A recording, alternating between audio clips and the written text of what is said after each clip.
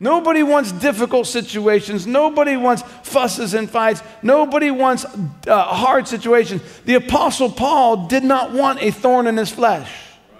That was not his choice. That was the choice of God who knew what Paul needed so that he wouldn't become puffed up, so that he could, in humility, administer the word. And God did it for Paul, and God did it for the people that would hear Paul. Paul didn't want it, amen. But once he realized it was the will of God, he surrendered himself to it, was not angry about it, was not bitter over it, did not get hurt till God, t- towards God, amen. All of a sudden, he began to glory in his, he said, Now therefore, glory in my infirmities, for when I am weak, then am, am I made strong strong.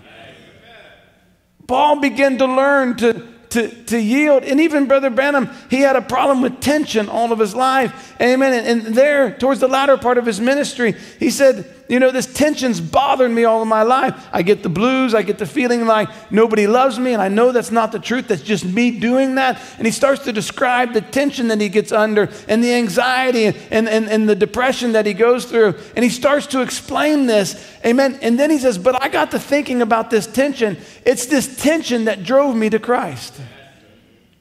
He said, What would I be without tension? He said, It's good for me. Instead of cursing the thing and getting upset about it and getting angry, amen, he began to realize that God was using this for me. This is a blessing of God. It drove me to Christ. It keeps me dependent on Christ. Amen. It, it, it, keeps, it keeps us in a right state of mind many times.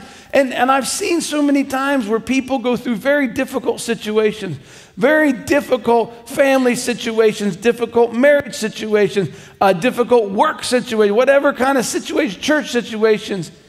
And you realize after talking to them for a little while, they're hurt, but they're hurt towards God.